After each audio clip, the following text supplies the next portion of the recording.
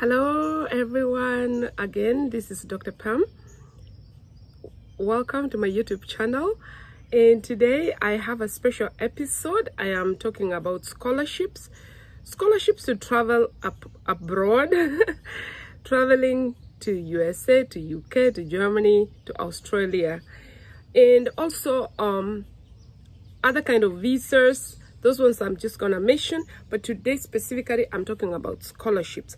And i'm going to share down there i'm gonna share the schools that are african or international friendly. So i've done my research and and everything i'm talking about today you can actually find it online. It's free for you. You can google scholarships uh, for international students and Google and study and do your own research. This is a version of what I Googled and, and researched for you so that it's easier for you to get them and go there. You don't have to look which school it is because I have the schools labeled and lined down there for you. Just you read, I'm going to share it down there. One thing I have to comment before um, I uh, before I continue, share my YouTube channel, subscribe to my youtube channel. I have more videos. So that said um there's many uh, many visas that people search to come to either usa uk whatever you want to go. But um today i'm going to talk about mostly usa because that's where i am. And the first um visa is a B1, B2, which is a visitor's visa. Those are people like me, mamas like me who want to travel abroad. And those ones, either somebody has to invite you or you have to come, um, you know, somebody has to send you a letter. You have to have an invitation. We have another one called a J1 visa whereby um, people come especially professionals come to further their studies and have to go back home. And it is strict. You have to finish whatever time you're given and then you travel back home. But they give you a grace period of two years. After you finish uh, your college or your studies they give you a, a two-year grace period. And then those two years you have to organize yourself and go back. Um, they have another one called F1. Mostly those are students, undergraduate or postgraduate or, you know, PhD students. It's called an F1 visa for those students. Um, they come here, they're international students, and uh, uh, they, they apply and, and they come as students, international students. We also have tourists and um, for tourists you just come to visit people want to come to disney world people want to go to you know come the people have money who just want to come and bring their kids for vacation and that is the one that they they use. Um um the next one is called um a 90 day a 90 day fiance visa. That's very common. You've seen um they have like a show a show called a 90 day fiance fiance visa. Um it, it is also there and it works. It works. People know each other on the internet and you know they invite each other I mean people travel. Um so that is another one. So for today now i'm going to focus on f1 student visa for undergraduate kids who finish high school for um graduate school masters and for phd mostly i'll talk about the undergrad and the, the master's uh, students. So all this information is online. I'm telling you this information is online. You can check it. But um that said anything you want if you want to travel you want to go abroad you want to do whatever you want to do it is all in your mind. If you want it so bad you will get it. Whether you have a way or you don't have a way that is one point i have to put it clear for you. Whether you you you like it or not if you want to travel you will travel. And um that is how it is. So let me go to um what are the requirements? What are the requirements? And i'm gonna come to scholarships.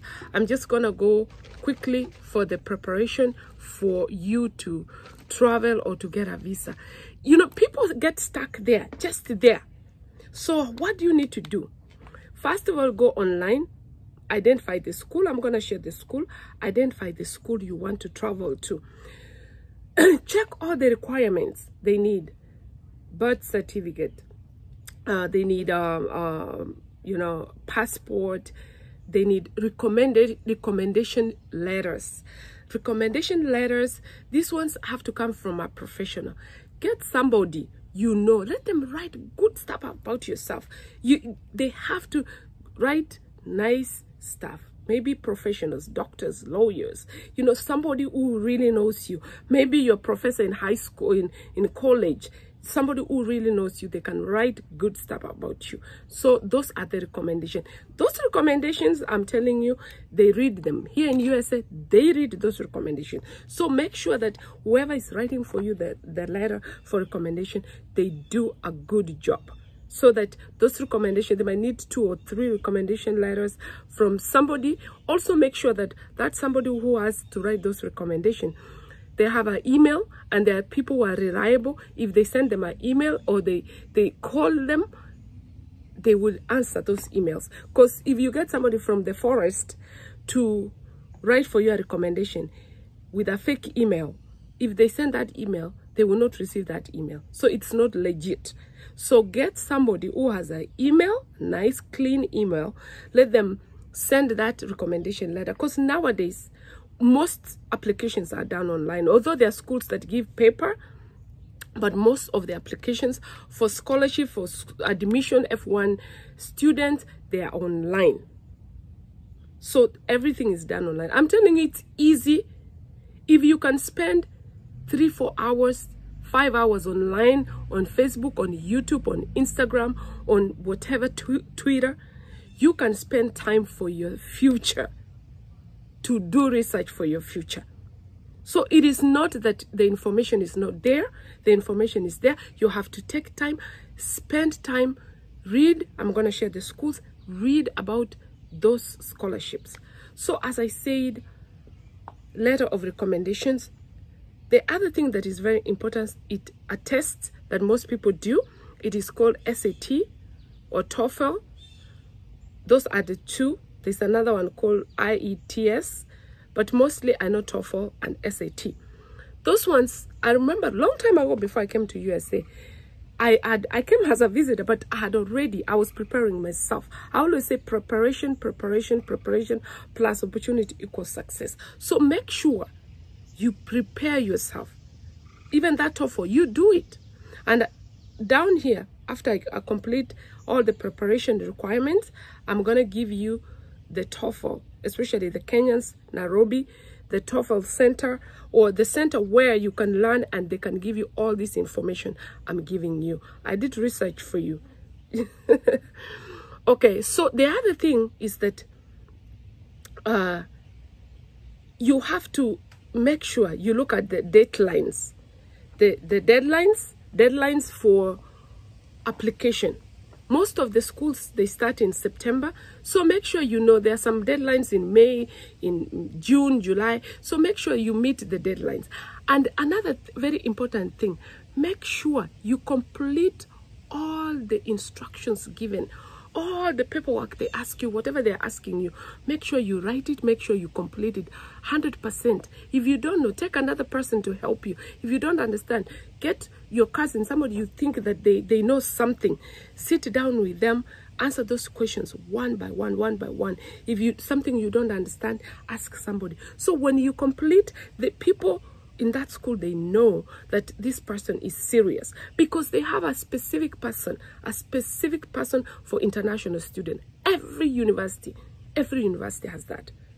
The every university has a, an international student counselor for all international students. So that means that every school can give scholarships but there are some schools which give more scholarship or who are international student friendly. Those are the ones I'm going to share today. So the ones in Nairobi, the ones we're going to watch from Nairobi, they have an educational advising center in Nairobi. I got it for you guys. And this educational um, advising center P.O. Box 606 Village Market, Nairobi 00621. The phone number is 254 2036 36583. The website is K E. You have to put HTTPS K E U S E U S Embassy dot gov education dash culture stroke education. I'm gonna share all this down here. They are on Twitter, they are on Facebook, and they're on Twitter. So you can follow them. Okay? So those are the requirements that they need you to to to preparation. Preparation, preparation is so important. Um I have I I labeled all these things for you. In this school, in this uh, center uh, in Nairobi, they have these are the things that they offer in the center. Advising it's an advising center. They will teach you how to use to access internet. They will teach you if you don't know because sometimes not all of us have computers. Sometimes you don't have computer. And if you don't have computer in this center that i've given you and i'm going to share their link and i'm going to share their number they will advise you. They will give you uh, access to computer or internet how to use internet how to apply. They will give you dvds uh, DV, dvds they will give you uh, catalogs of schools that are international friendly. They would um, organize uh, for higher education uh, for usa and other countries. They would recommend for you if you for example, if you are admitted to a school in USA, they would recommend for you which is the best place to stay or to sleep. They would also assist you in institutions that they have partnered with. So they have, let me tell you something before I forget. I was shocked because we have, the lady, I was shocked because we have even high schools equity you know there's something they call equity i wrote it down yesterday it is called it is so hot out here guys. I'm sweating. It is called i wrote it down for you. It is called uh, it is called what? I think it's equity or yeah it is called equity scholarships. Those are for high schools. Uh, for high schools um, students. And it is it is uh, based in nairobi. I was i was I was surprised. It's called Equity Group Foundation in Nairobi, Kenya. Equity Group Foundation, Nairobi, Kenya. Go check it. Some of you have high school students. Oh my God, it's so hot out here. All of you have, some of you have high school students. Go check that equity and make sure that uh, if you have a student who's very smart, they have those um, they have those foundation scholarships which is pay, which is based in Kenya okay? So that is that for that. I didn't want to forget about that. So we've talked about that. Let me see. The next thing I'm going to talk about is uh, I've talked about the visa scholarship uh, the requirements. Let me look at the requirements. I wrote it somewhere here um the requirements oh no let me go to let me go to uh yeah let me go straight up to one of the the, the biggest um one of the biggest sponsor of school scholarships in USA that I know is called Mastercard Foundation. Mastercard Foundation. It sponsors schools. Uh, it's it sponsors graduates and undergraduates. It doesn't sponsor PhD students. It uh, sponsors graduates and uh, undergraduates. Um, one of the requirements for admission is that you need to be uh, as, uh, an African citizen. So you can't be in America. You cannot be in America to, to go to that school. So being a citizen of sub-Saharan Africa, excel uh, in uh, academically in school, having demonstrated you will give back to the community. So when you are going to write all your letters, they better indicate that you are going to be you are going to give back to the community. That is very important. Um, another thing is that coming from economically disadvantaged disadvantaged background, having demonstrated that you have intention to go back to Africa, uh, th those are the, the, the four ones. Being a citizen of sub-Saharan, coming, uh, being academically excellent, having demonstrated you will be going back to Africa, coming from a disadvantaged background. So those are the ones for the MasterCard Foundation.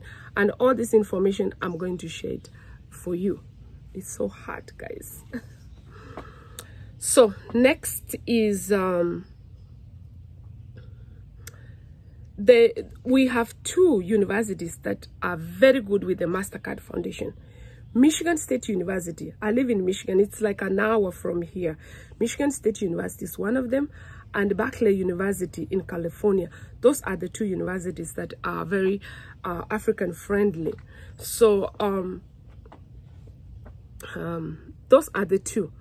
And in those two, they like to sponsor issues affecting women, uh, issues affecting the community, issues affecting the community. Example is corruption, female genital mutilation, or women issues, disability, gay and lesbian. So those are those are the few that I, I just got that um, issues that affect the community. Let me get, if you can wait, let me get something here quickly.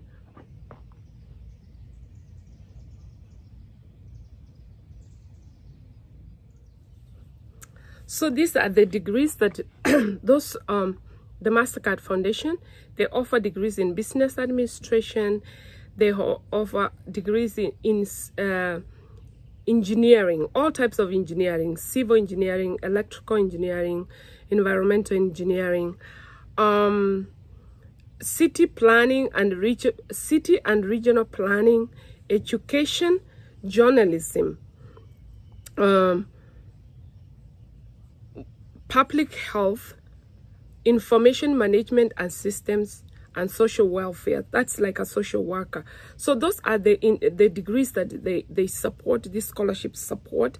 Those are the few that the MasterCard, I'm talking about the MasterCard, which is at Michigan State University, MSU, or uh, Berkeley University. So those are some of the degrees that they they uh, offer for undergraduate and postgraduate and or, or graduate school okay guys also we have this mastercard i'm still talking about mastercard foundation they have schools. Actually they give scholarship schools inside africa. So you can start you can study a school inside africa and still get a scholarship. So these scholarships are you can still study them. Most of the schools are not in i didn't find any school in kenya but most schools are either in South Africa or in Ghana. One of the schools is African Leadership Academy, American University of Beirut, Ashesi University College, Kwame Nkrumah of, of Kwame Nkrumah of Science and Technology in Ghana, University of Abomey, University of Cape Town, University of Pretoria, University of uh, Gondar, G-O-N-D-A-R, University of Ebin, Edinburgh and Berkeley University, uh, which is USA, Michigan State University, and Arizona State University. So the three universities, uh, I didn't mention Arizona State University, is one of the universities in USA. So in USA is Berkeley, B-E-R-K-E-L-E-Y in California, Michigan State University in Michigan, and Arizona State University. So those are the three universities that the MasterCard Foundation that supports and offers. So that that that one said. So let me see anything about MasterCard Foundation that I haven't mentioned.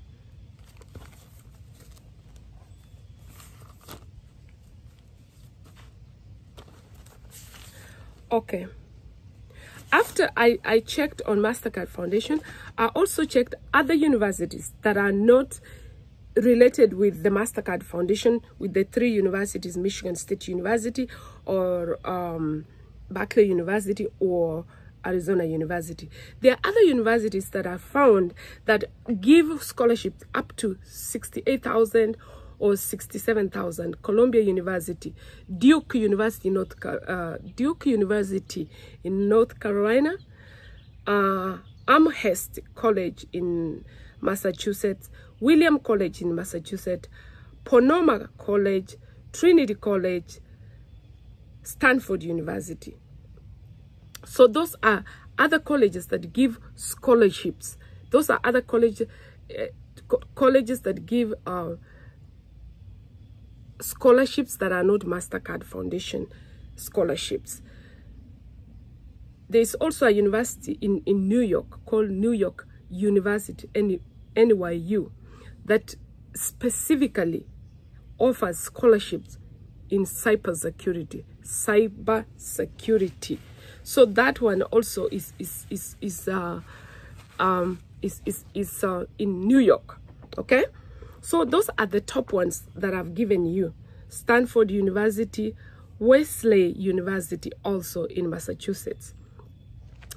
There is also a set of um, other universities that I also another second set of universities that also are African friendly. Uh, Be Berea University, Clark University, Columbia College University, Concord University. It is called Concord College. I know of a girl who goes to Concord. She um she's she she comes for holidays in my friend's um house here. Uh, she's from Zimbabwe.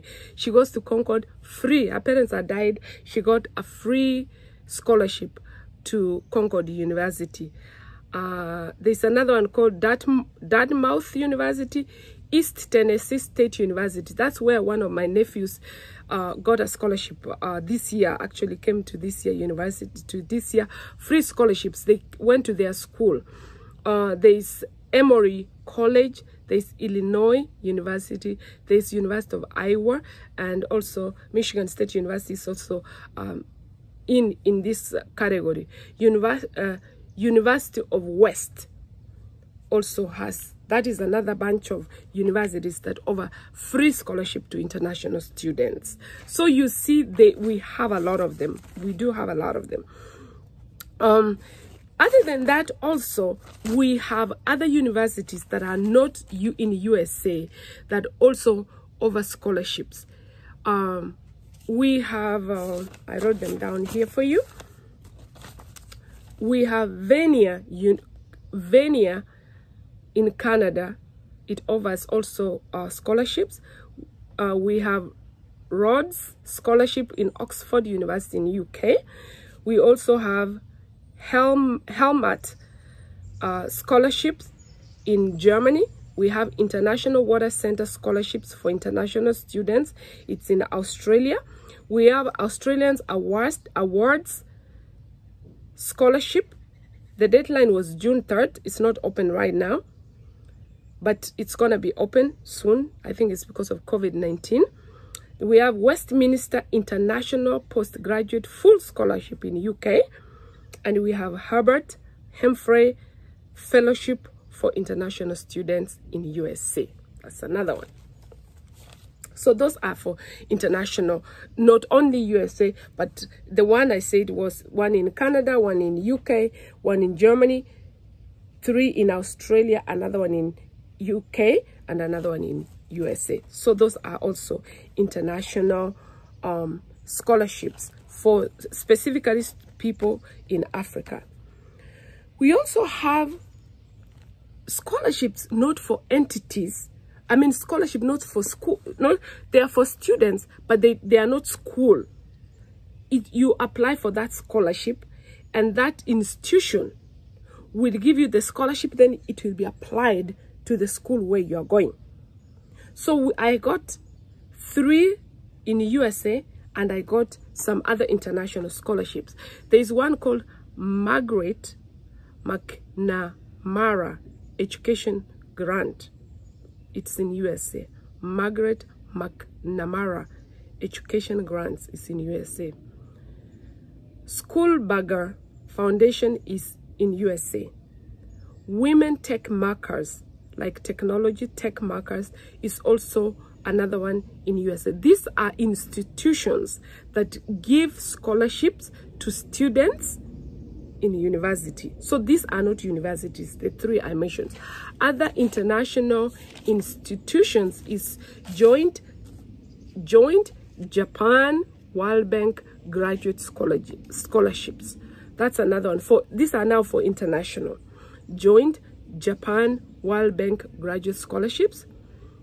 American Association University Women, that's, a, that's our entity that gives scholarships specifically to women. And then there's also Aga Khan Foundation International Scholarship. So the three are international. I've given so much information. But you know, the thing is this, you can go back and listen to it and, and, and then write it down. It's easier on YouTube than it is easier on Facebook. So I have given that. Um,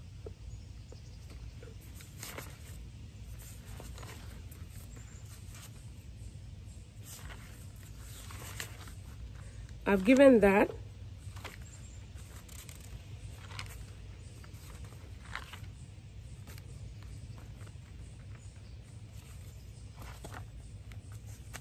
So, to sum this up, this is how I'm going to sum it up.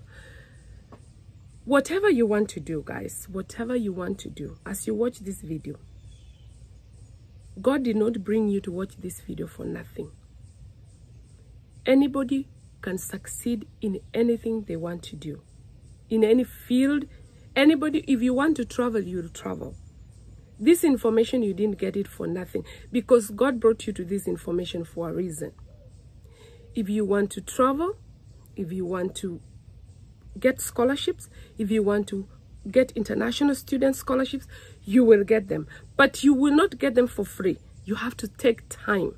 You have to take time instead of spending time on YouTube, instead of spending time watching people's success, watching music all day long you can take a little time. Go to the internet. I'm going to share these schools down here. Go to the internet google search get all the information.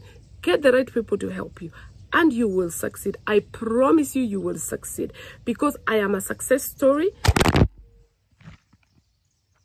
I'm a success story. You will succeed. So take your time.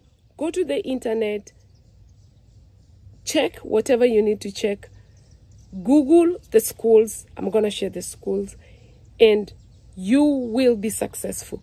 I shared a lot of schools. I'm going to write some of them down here and you will check them and you will follow. So for those of you who are not students, there is also there is hope for you too because even if you are not a student i yesterday i listened to this lady who was saying that she was an a class 8 student she finished class 8 her house was a house was burned down so she ended up um she ended up not finishing going high school.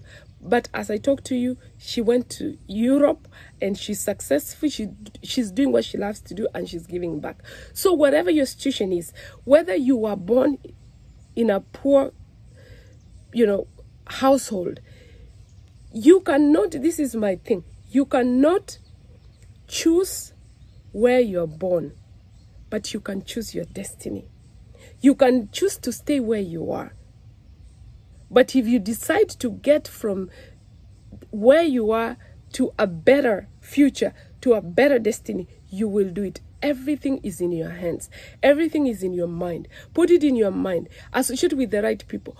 Preparation, preparation, prepare yourself and ask for help, ask for guidance, and take your time to do it. There are people who, as soon as you, you mention something, before even they do any research, they want to ask, Can you help me? Nobody has time to go to do for you application you have to do it yourself you have to take them if you can spend time in the internet on facebook three four hours on facebook click in facebook all the time all the time you can spend time to do research you can spend time to apply for international students. You can spend time to apply, know how you can come as a visitor. You can spend time to do more. So if you need have any questions, you can ask me down there. I can answer them. Uh, other than that, I will come also Facebook Live. I have done this show in July 2020, so it's applicable for now. Two, three years to come, I don't know if it's going to be applicable. The schools I'm talking are now applying. You can apply now. In two, three years, I don't know if they will be viable. But for now, this information is viable for 2020. Thank you so much and be blessed. Keep sharing, keep subscribing to Dr. Pam Obare. Uh, comment below, give me comments below. Let me know what you think. Thank you and be blessed.